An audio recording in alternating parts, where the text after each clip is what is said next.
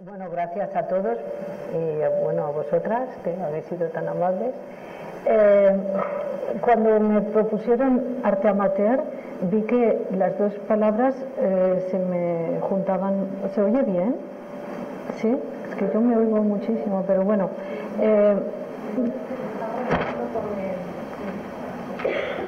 ah, con el jersey o no sé. Igual Quizá yo creo que es mejor bajarlo. A ver. Ya que lo ha subido. ¿Y se oye ahora o no?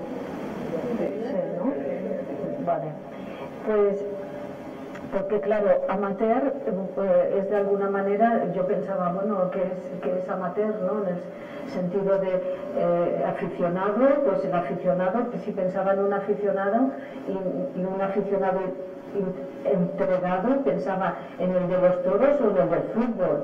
Yo pensaba esto, arte, ese aficionado, bueno, es decir, que estuve pensando mucho y al final decidí hacer eh, lo que eh, voy a tomar, eh, tomé una decisión de que es para mí el arte amateur. que a lo mejor es diferente a la que van a tomar los otros compañeros que van a hablar otros días o incluso la que vosotros podéis tener. ¿no?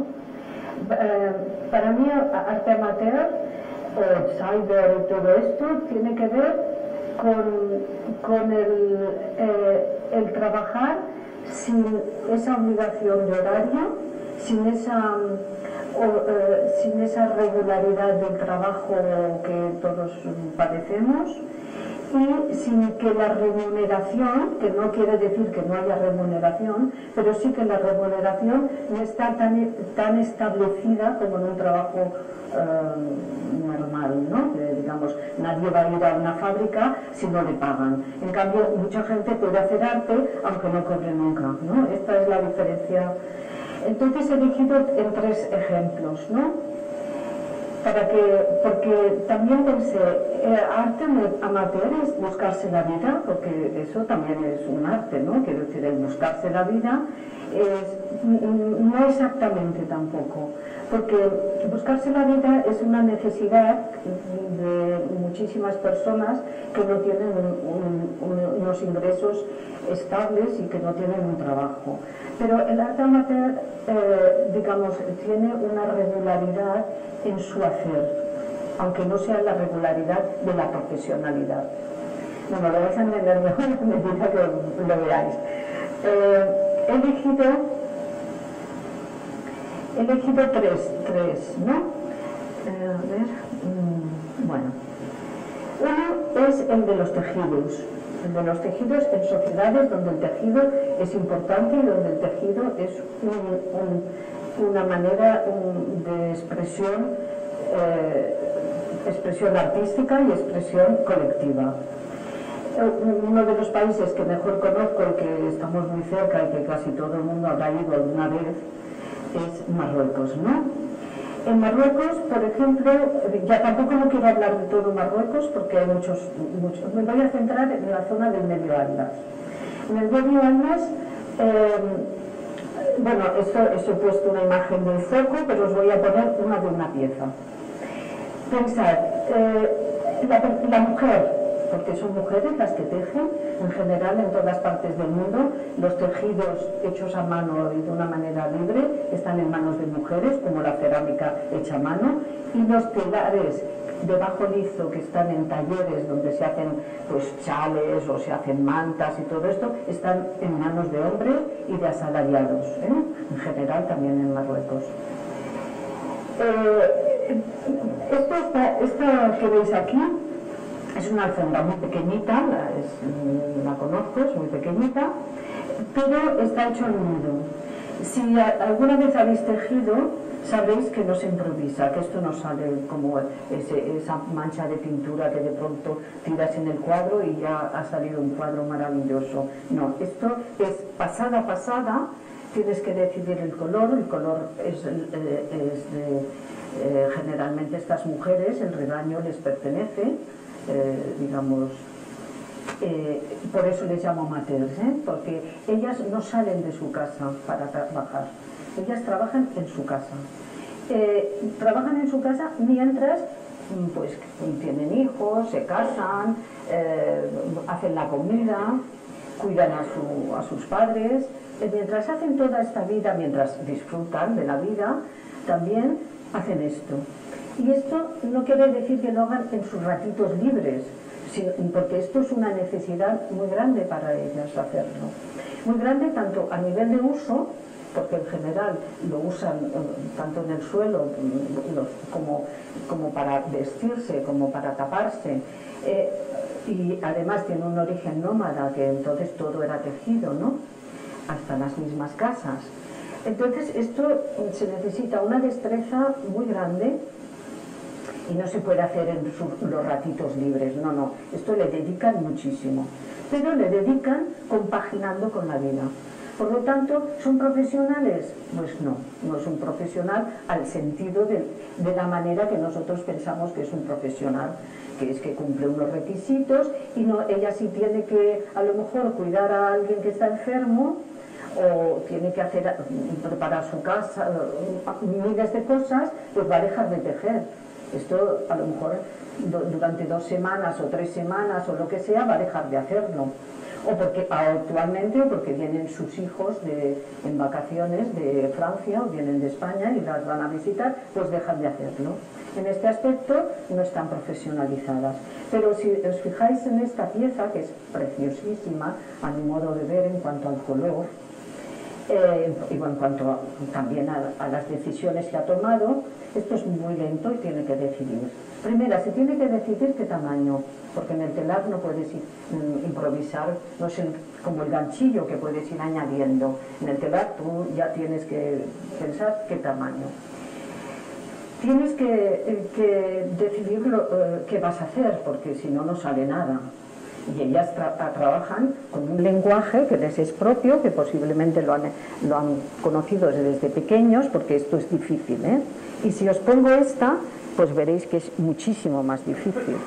Y, si os fijáis, está muy organizada, no está dejada al azar, no es algo que, que le ha, que ha dicho un día, ay, me voy para aquí o para allí. No, no, esto, aunque sí que ha podido tener decisiones momentáneas en un, y, y de, y espontáneas, pero esto está dentro de una estructura de pensamiento, una estructura de composición y al mismo tiempo esas decisiones espontáneas también tienen que estructurarse dentro, tienen que traducirse, porque eh, esa, ocurrencia espontánea que ha podido tener eh, a lo mejor le dura en hacerla dos semanas. Es decir, eh, profesionalizadas en un sentido del saber hacer, el saber, el saber defender lo que hacen, el saber qué dicen, porque en eso están seguros todos los que vamos a Marruecos, quizá encontremos una pieza que podamos comprar muy barata, pero, pero digamos, ellos saben su precio, las cosas, ellos saben su patrimonio, los que venden y los que compran, saben su patrimonio. Entonces, las cosas tienen un valor según la calidad de lo que te venden. Y la calidad no tanto de la de también, ¿no? Pero no tanto de la lana o del antín, sino la calidad artística, ¿eh? Decir, eh, las grandes piezas yo nunca he podido, yo tengo, he comprado muchas cosas y siempre he comprado las cosas que compra mucha gente, porque las grandes piezas, como es esta, por ejemplo, no está ni siquiera disponible a la vista de las personas, ¿no? Están para los coleccionistas, están para... Pero, no obstante, a mí siempre me ha gustado mucho que todo tiene una gran calidad. Es decir, que si habéis comprado un, cojín, estad contentos con vuestro cojín porque seguro que tiene una calidad. Si habéis comprado una, alfombra, lo mismo. ¿eh? ¿eh? las hay más sencillas, esta por ejemplo, esta puede ser una persona, una mujer muy, muy, muy, muy de mucha calidad su trabajo y posiblemente muy, muy reconocida, porque esto, claro, no está reconocido con un nombre, eh, pero está reconocido por una sociedad, porque esto la ponen en las bodas, la ponen fuera, esto se ve, esto, esto no es que está oculto en la casa, esto hay momentos durante el año que lo sacan y, desde luego no vale lo mismo para ellos, para las que lo usan, no vale lo mismo una que otra, una es más, estás más lista, estás, estás más creativa, lo, hablarán de otra manera, pero en el fondo es esto, ¿no? Eh, esto en general, estas piezas, como la, también la cerámica a mano, es para, las, para las personas que la hacen o para la misma capa social, mientras que eh, los talleres de bajo lizo o, los, o las alfombras persa, por ejemplo, las maravillosas alfombras persas, nunca van a ser el que lo hace va a recibir eso, ni va a poderlo comprar. ¿eh? Digamos, son capas sociales distintas. Entonces, estas mujeres, de alguna manera, a mí siempre me han parecido muy, muy auténticamente artistas, porque trabajan para su... contemporáneas me refiero, porque claro, un pintor del, del Renacimiento, de, la Edad Media, nunca se pintaba para él, pintaba para la iglesia, pintaba para el noble, pintaba, eh, hacía cosas así.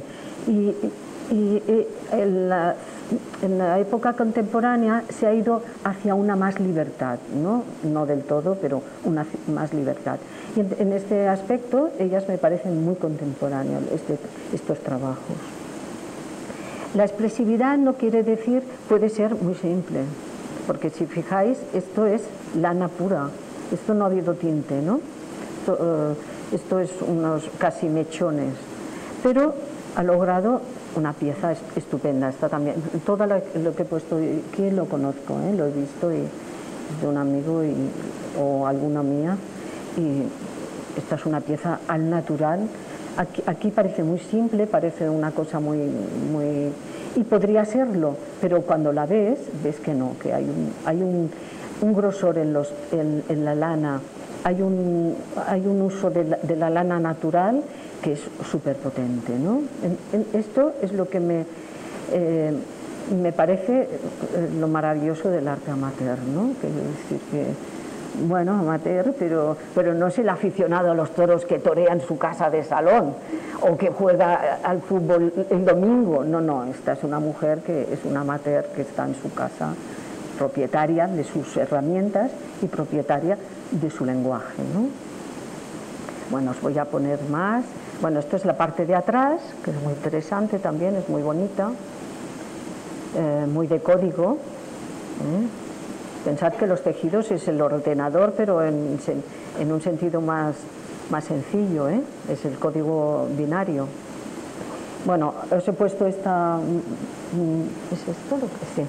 Porque se ve muy bien esta expresividad, ¿no? Ella ha suprimido color, ha suprimido incluso dibujo, pero ha marcado uh, expresividad. Esto también lo tenemos en el arte contemporáneo. Hay, mucha, mucha pintura que lo que mm, se valora es la, no es el dibujo, sino es, es, la expresión de la materia, ¿no?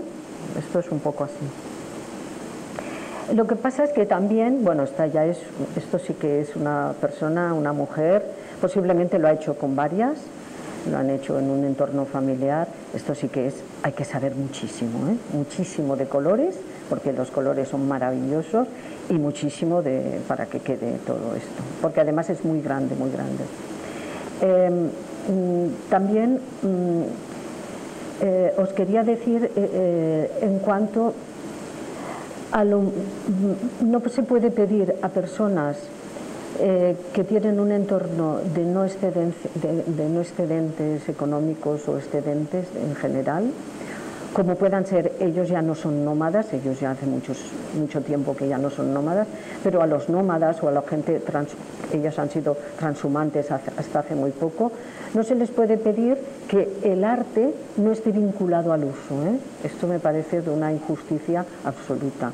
Eh, nosotros tenemos una sociedad de, de excedentes, de muchas necesidades también, pero de excedentes, y entonces el arte se ha desvinculado eh, se ha vinculado a unas cuestiones espirituales, pero se ha desvinculado de lo que es eh, la utilidad eh, práctica cotidiana. Pero claro, si, tú, mm, si uno va a, unos pueblos o los tuaregs o algo así y pensar que el arte no lo van a poder poner en una cuchara que se llevan de aquí para allí o en la tetera, pues me parece que mm, negamos una de las eh, funciones, bueno, una de las características primordiales del arte que es su universalidad. El arte es universal.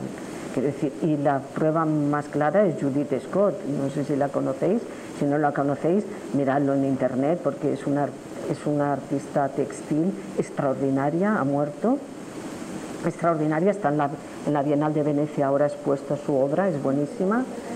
Judith Scott, Scott, se hizo aquí en Madrid un vídeo sobre ella que se llama ¿Qué hay debajo de tu sombrero? Es una persona que tiene un, eh, padeció una enfermedad muy grave, eh,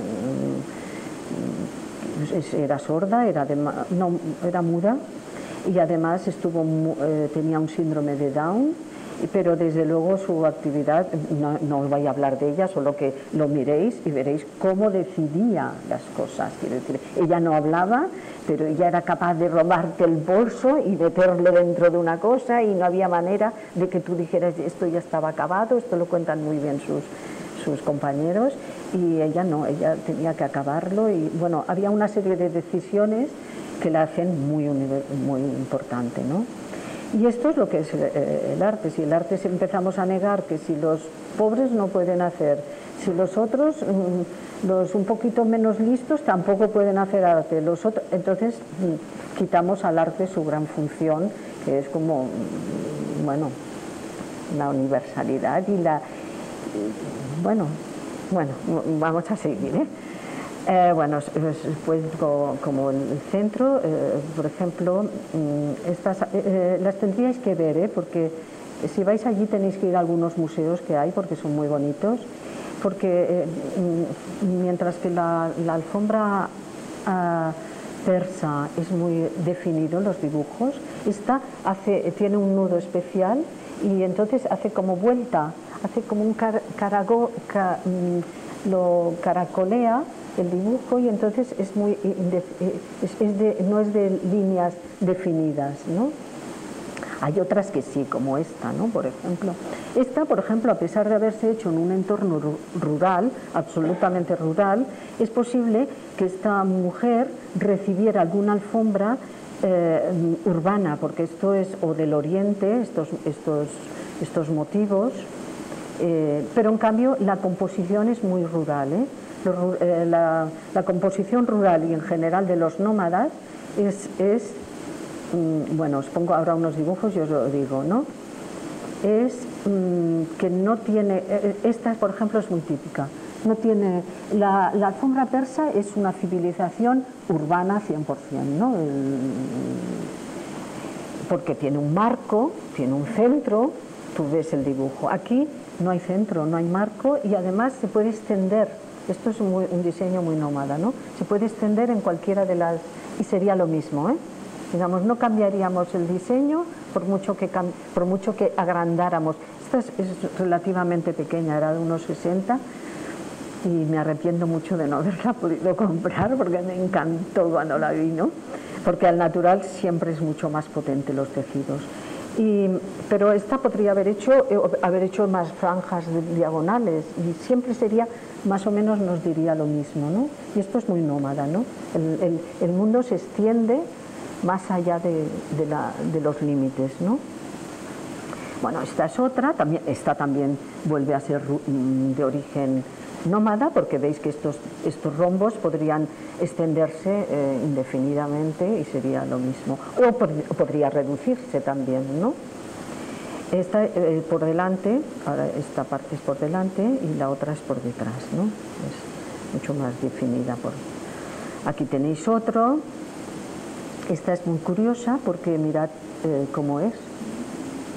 Digamos, es un tejido tejido, no es alfombra, que ha incluido, claro, esto son decisiones, ¿eh? esto no se, esto no es que un día, no, esto, esto, aquí se ha tomado muchas decisiones se ha tomado muchas decisiones y muchos riesgos. Entonces, esto es lo que para mí hace que estas, estas piezas sean... Bueno, aquí os pongo el uso, ¿eh? el uso original. El uso original es en el suelo las alfombras, en la pared, las paredes también son tejidos y bueno, los cojines, las... Bueno, y estas.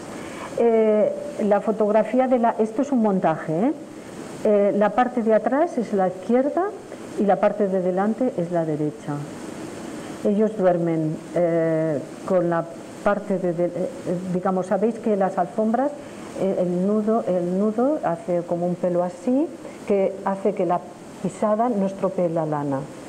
Si ponéis un killing, veréis que con el tiempo se va a, deteriorar donde habéis puesto la silla, donde pasáis más.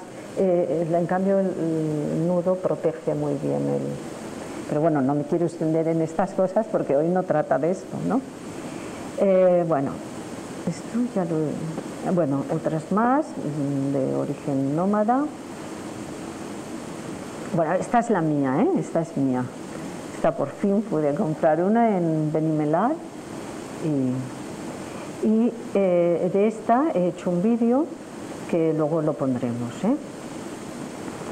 Eh, bueno, os pongo más, pero podéis comprender que no ha habido aquí, aquí tiene que haber muchísimo conocimiento y muchísimas decisiones no puede ser una persona que lo haga los domingos porque no, se, no avanza. Estos son muy lentos y, no se avanza.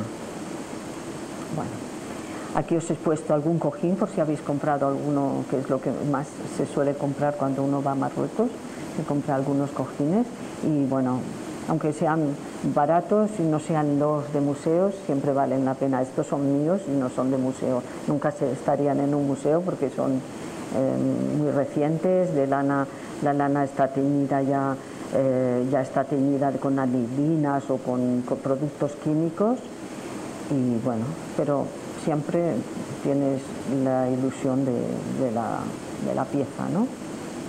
Con esto he trabajado muchísimo, he hecho varias exposiciones y, en fin, esto os lo pongo dedicado a vosotros y también eh, los tejidos, esto también está disponible, eh, también puedes comprarlo. Las alfombras buenísimas son más difíciles, ¿eh? porque cuestan un poco más, pero esto también es muy fácil y esto es muy muy bonito. Estos son capas, son hechos por las propias mujeres que luego se lo van a poner. Ahora ya no se usa tanto porque la ropa de segunda mano ha inundado el mercado en, en Marruecos. Yo cuando iba por las primeras veces Mm, aún veías muchísimas mujeres vestidas así. Son fíbulas, son capas que luego se ponen fíbulas, pero ahora ya todo el mundo va con ropa americana, eh, una encima de otra, y donde hay un roto, pues en él se ponen otra cosa, que el roto está aquí y ya está, y ya no hay rotos. Y en fin, de alguna manera también creo que se les ha de agradecer el uso, mm, el reciclaje y el uso, mm, porque una de las, mm, el uso eh, tan ecológico que hacen, un poco abusivo por nuestra parte, pero al fin de cuentas nos dan una lección de, uso, de que las cosas hay que usarlas hasta el final. Pero bueno, estos son también paredes, alfombras, bueno, y ya os lo paso rápido porque vamos a ir a otra cosa. ¿Tenéis alguna pregunta sobre este tema? Eh, si queréis mm, preguntar algo sobre... Porque vamos a pasar a una cosa completamente distinta, otros aficionados. ¿eh? Entonces os voy a poner otros aficionados, ¿no? Eh, todos conocemos el flamenco, estamos en el país que todo el mundo sabemos que es flamenco, ¿no? El flamenco mm, mm, hay cuatro profesionalizados.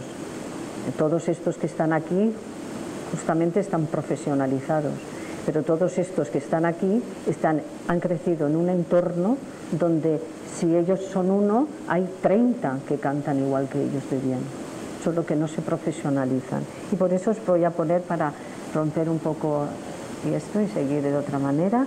Os voy a poner un vídeo. A ver, que espero que os guste, que os gustará, claro, porque es imposible. Y entonces se ve muy bien.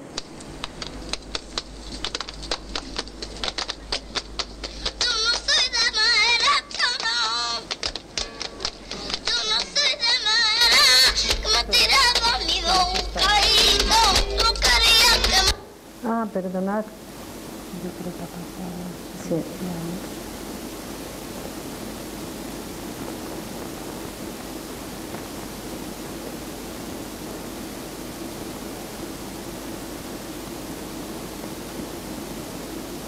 Vale, ahora. Ahora le vamos a aquí.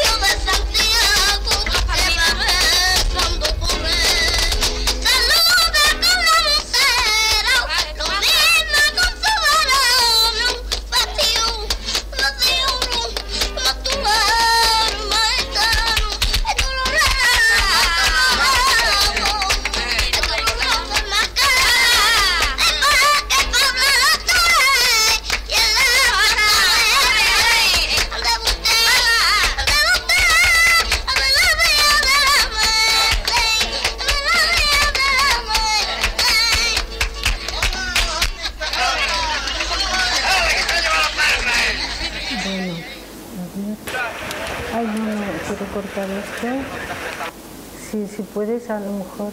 Bueno, eh, yo creo que todos, eh, Macanita, la Macanita es una artista ahora profesionalizada, está con su madre, que su madre, eh, claro, le está enseñando. si va a ser luego profesional o no, pues ellos... No, es que ah, quiero poner el del camarón con su madre. Ah, ¿y dónde lo tiene? en el pendrive. A ver. a ver, aquí en amateur. Eh, no, espera, espera. El tercero. Bueno, luego lo comentamos. Una vez en Jerez, yo estaba allí con el Pilili, con unos gitanillos de para allí, de Jerez, del barrio La Plata y de Santiago y eso. Entonces nos colamos en un sitio que estaba cepero, que seguramente él llevaría tiempo sin ir por allí, ¿no? Y, el Pilili, vamos a entrar ahí, que está ahí cepero, vamos a escucharlo. Total, entramos y la cosa, ¿no? Nosotros vemos a un chiquillo y empezamos a cantar y a bailar. Y espero, pues me tocó la guitarra, ¿no? Y luego me dijo, vente a Madrid, me dio las señas y eso para que me viniera a Madrid, ¿no? Entonces yo no, era un niño, no hice caso, ¿no? Me fui a la venta otra vez, allí a, San Fernando, ¿no? Con mi gente y eso. Ya luego, pues, me fui ya, como te dije, con Miguel y de los Reyes, ¿no? Y Dolores Vargas y, y Artablado, y ahí estoy.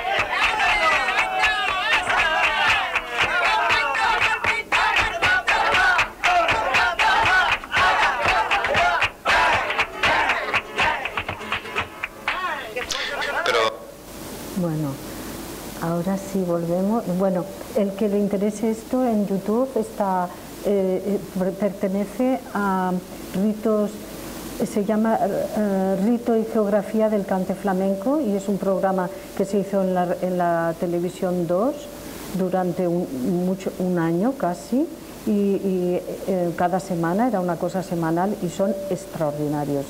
Lo, lo, tenéis en YouTube, ya no, claro, esto ya ha desaparecido de, de muchos sitios, pero aún lo podéis ver. Eh, entonces vamos a volver a, esto. Eh, no sé si... Eh, yo creo que es rito y, geografía del cante flamenco, lo encontraréis. Por ejemplo, hay uno dedicado a niños, ¿no? yo lo he sacado de Macanita de, los niños. Vale, ya está. Eh, por ejemplo, el flamenco, ¿no? El flamenco no se improvisa, quiero decir, una, persona, eh, eh, justamente he puesto dos con sus madres. hay muchos, hay, de niños hay que te mueres de, la emoción. También está la Lole con su madre, en fin, hay muchos, lo encontraréis en YouTube. La madre de, la macanita, desde luego se veía una señora no profesionalizada para nada. La madre de Camarón tampoco, ellos nunca han cantado en, público. El padre de Camarón, ya lo sabéis, porque Camarón es uno de los mitos españoles, pues era, trabajaba tenía una fragua, ¿no? No era gente, y la mayor parte del gran momento del flamenco, que fue en esa época, eh, eh, bueno, con las personas que sacan en rito y geografía del cante flamenco, eh, trabajaban de jornaleros, eran, eran, trabajaban en el campo, eran, Andalucía todavía, todavía no ha hecho el gran cambio este, todavía. Todavía hay jornaleros que trabajan tres meses al año, los demás no trabajan porque no hay trabajo. Entonces los gitanos estaban todo el día, por el día trabajaban, esto lo cuentan muy bien, hay algunos que lo cuentan, que por el día eh, recogían la aceituna o recogían pues lo que fuera en ese momento, eh, la uva me imagino, sobre todo la aceituna. Y por la noche pues se hacían un puchero o lo que comían todos juntos, familias, varias familias juntas y cantaban. Y como las mujeres anteriormente tenían mucho, mm, eran tenían mucho interés de quedarme muy bien. Quiere decir, ellos tenían mucho interés de que si cantaban bien, cantar mejor y que les vieran los que les acompañaban.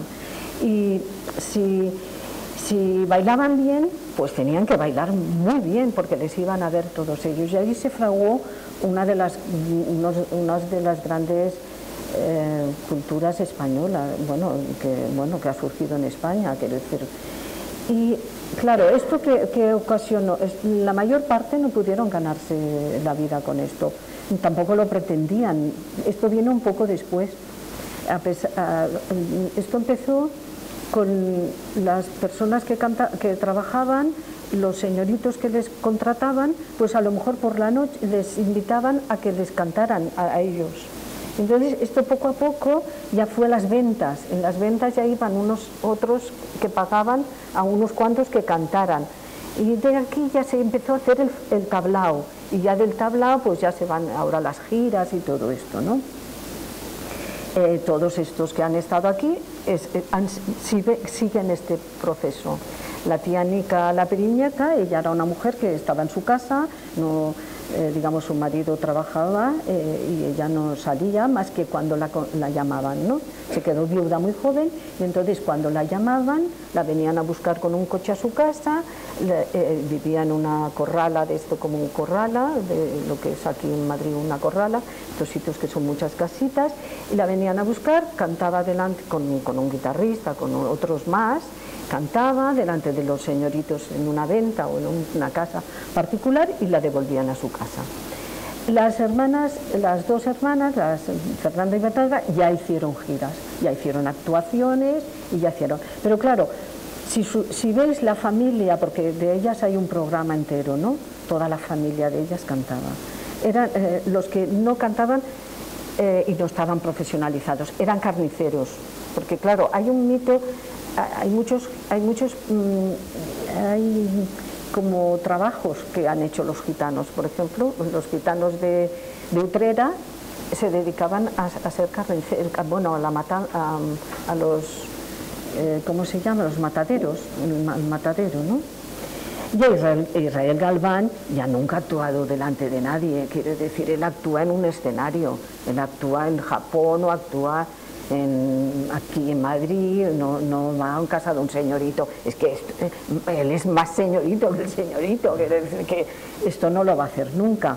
Y el niño, del Che ya tiene también otro componente, este ya es más mm, otra cosa, ¿no?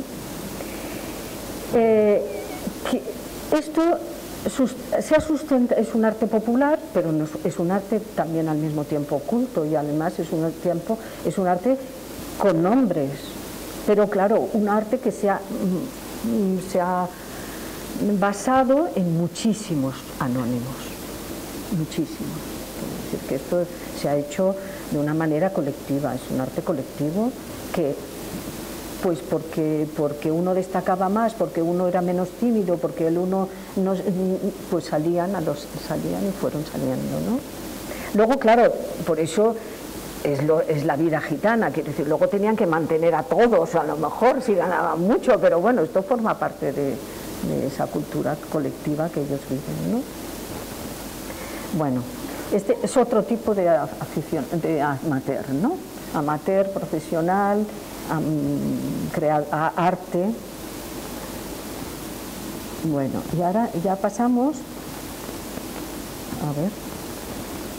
Yo sí lo veo. Ah, bueno, pues no, es que tengo que cerrarlo, perdonad un momento. A ver, cerrar. O, o abrir. Bueno, es que no, no sé cómo. Lo voy a poner desde otro, porque no se veía y lo tengo ahí, pero lo voy a poner desde otro sitio. Este. Ahora os voy a poner otro, los grandes amateurs de los, art- los artistas, porque también estuve pensando, estuve tentada en hacer eh, cuestión de, de eh, bricolaje, porque quiero decir, el gran, el gran hacedor de bricolaje es el artista, que quiere hacer una cosa y no sabe y la hace. Quiero decir que todo artista hace lo que no sabe, porque aunque lo sepa, cuando se enfrenta a lo que a la otra obra, hay algo que no sabe. Y en este aspecto, al final, os he, bueno, os he traído un artista que mm, me gusta mucho y que ella, entre muchos, eh, tiene, tiene una, una página, un blog que podéis ver y tiene muchas entradas en, en- lo podréis ver. Y eh, ella, por ejemplo, una de sus grandes pasiones es volar. ¿eh? Claro, ni ha estudiado nada que sea de- para volar, ni es ingeniera, ni se tampoco, porque otra de las cosas que hacen los artistas cuando no saben hacer una cosa es asociarse con gente que sabe. Pero ella no, ella es una outsider total y entonces pues ha querido volar. Para que veáis que a pesar de que uno quiera hacer una cosa, el trabajo siempre tiene que estar. Os he puesto un poco de, de sus, de todo el proceso que hace para saber cómo ha podido volar. Ha volado ella y ha volado la cámara. Yo estuve con ella en el Cairo y la cámara eh, bueno, con un numerazo porque la policía nos paró, nos borró todo porque no se puede, eh, ni aquí tampoco, ¿eh? quiere decir, el espacio aéreo no nos pertenece y como pongas algo en el, eh, digamos, no nos pertenece y no se puede usar. Y entonces, bueno, pero para que veáis todos sus apuntes, sus libretas, que me parecen muy interesantes, porque son, no sé si se ve bien, pero son medidas, ¿eh? medidas, pesos, porque mira un libro. Y la he traído también por esto, porque todo esto, ella quiere volar, pero pero hay muchísimos artistas que quieren hacer cosas y que, que siempre, siempre el arte tiene ya en sí mismo el no saber hacerlo. El, tener, bueno, mirad esta, porque esta fue todo, y que bueno, al final le funcionó, ¿eh? quiere decir que, claro, esto fue, una, fue bastante tiempo. Quería volar ella, no se mueve. A ver, ah, vale. Quería volar ella y quería volar eh, la cámara. Luego también os pondré unos vídeos de, bueno, todos sus... Eh, y este es eh, la primera vez que voló, bueno, la primera vez que voló una cámara, porque lo hizo en la, hay un vídeo también en YouTube lo hizo mientras estudiaba, estudiaba en, Valencia, hizo con, una bomba, con una bombona de butano, calentó un globo y subió una cámara y todo esto. Pero esto es en una playa de Alicante, que apenas va gente, y entonces, y que, eh, digamos, llevó todo este artilugio, se lo había estudiado, todos son estudios, y con, mm, invitó a todos los amigos, más la gente que estaba, había muy poca, pero eh, toda la gente que estaba en la playa se unieron al, al, al ¿eh? La playa es una playa muy, muy apartada, con lo cual no, no, puedes poner el coche al lado ni el camión y tienes que andar y bueno, claro, muy apartada porque esto lo haces en una playa normal y no duras ni un segundo. Ella tardó como media hora, una hora que viniera la policía, pero en una playa normal es al momento, ¿no? Y entonces, bueno, todos los voluntarios todo el proceso, que también, claro, el proceso vuelve a, ser de arte, porque las fotografías fueron tomadas con la idea de que fueran en sí mismas, ¿no?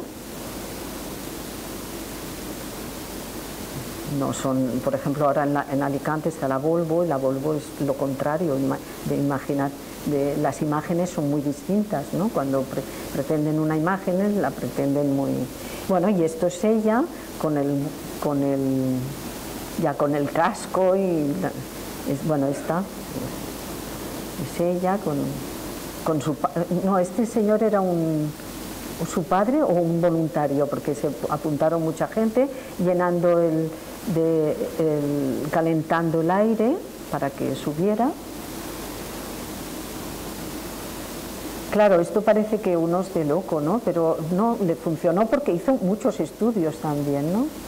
Esto es, bueno, los gente con la playa y ya empieza, eh, la policía ya aparece, ¿no? Si veis, ya la policía hablando. Eh, su perro, que también estaba para, ambientado para el momento. Eh, se hizo de noche, claro, y bueno, voló, ¿eh? quiere decir que subió muy alto, ¿eh? voló un tiempo, un, rato, hay un vídeo de esto, pero me gustan mucho las fotografías más que el vídeo, me gustan mucho esta cosa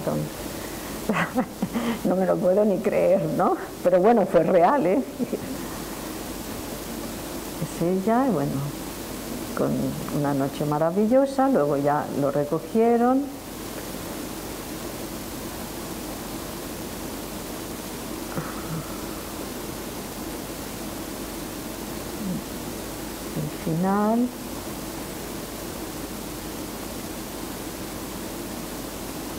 Y esta es una acción, eh, aquella es ella volando, y ahora esto, eh, estuvo en el, hay un festival en Salamanca que se llama, eh, Ahora no recuerdo, luego lo tengo apuntado por si os interesa o saldrá.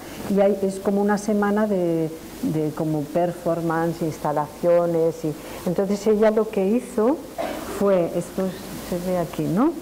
Eh, digamos, esto es Salamanca, en la plaza, eh, todos estos globos son de helio, también tenía que calcular los globos que tenía que hinchar de helio para que subiera la cámara. Aquí subía la cámara y lo que estaba lo que la cámara captaba se proyectaba en una, en una pantalla. Esto, claro, eh, trajo montones de gente, bueno, hay, vídeos, ¿eh? el que le interese lo puede ver, está en internet.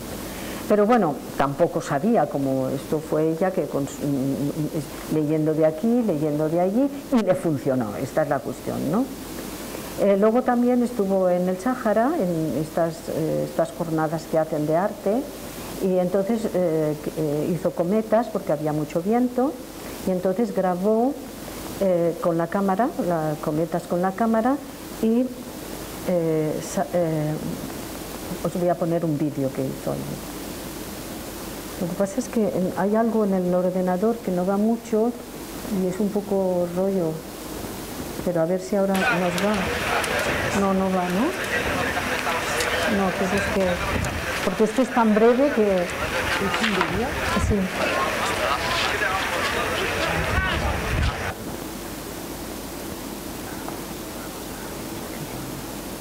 Sí, lo siento, ¿eh? Que...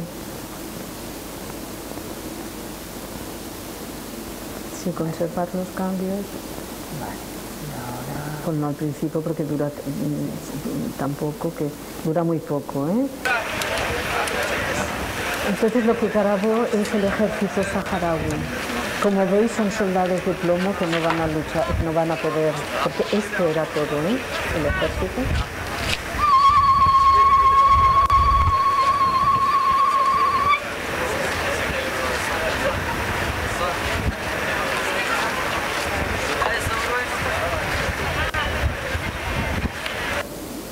bueno, eso, eso lo sé, grabo esto, pero eh, os lo he querido poner porque, em, bueno, me pareció que eh, también el arte sirve para cosas y, este eh, tiene más, también lo tenéis en YouTube, porque realmente lo que a mí me emocionó de este, de este, de este vídeo es ver que realmente pues, los saharauis lo tienen muy crudo, porque el ejército es eso es decir, no existe el ejército, son cuatro soldados. Y desde arriba se ve que son de plomo, casi, bueno, que no son, son casi sin armas.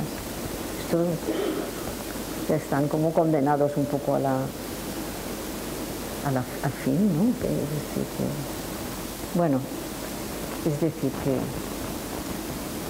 y bueno, ya, ya está.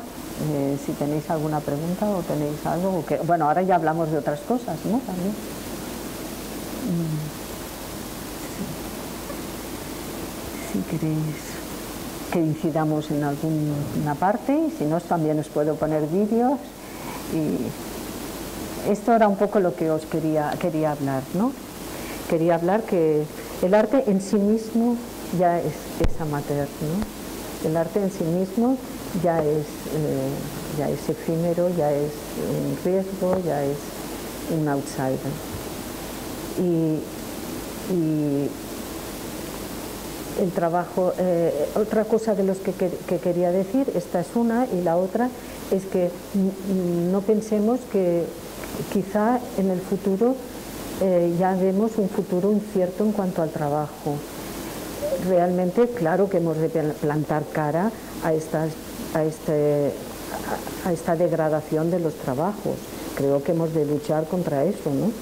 Pero también tenemos que ver que pueden darse otras maneras de, enfrentarse a los trabajos que quizá a veces son muy gratificantes, que a veces trabajar en trabajos muy organizados tampoco no es, no es lo, lo que realmente siempre se ha hecho. Eh, yo hice un trabajo sobre las cigarreras de Alicante, sobre las mujeres que trabajaban allí y desde luego me enseñó muchísimo de las condiciones de trabajo de las, de las mujeres. Las mujeres siempre han tenido, han pedido condiciones de trabajo muy distintas a los hombres, porque las mujeres siempre han querido compaginar, incluso antes, compaginar su vida privada con su vida, bueno, su vida privada es una palabra muy fea, actual, que no me gusta nada, pero su vida eh, en su casa, no sé, familiar y su vida social y su, bueno, su vida con el, su trabajo. Que el trabajo muchas veces es tiempo que das a cambio de un dinero.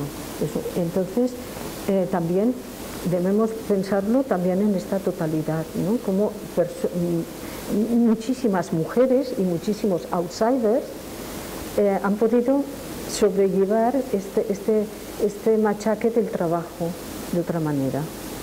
Y esto quizá también nos pueda eh, podamos vislumbrar algo en el futuro de que, de que quizá está también en nuestras manos enfrentarnos a otros sistemas de trabajo y enfrentarnos a esta crisis de trabajo que, estamos padeciendo. Y, que bueno, que nosotros padecemos así, otros lo padecen porque se han de ir de sus casas y viajar muchos, mucho, a otro lugar muy lejos. Eh, entonces, bueno, quizás viendo a, estas, a, estas, a estos, a estos núcleos, a estos colectivos outsiders, también nos enseñan a que debemos buscar otras cosas.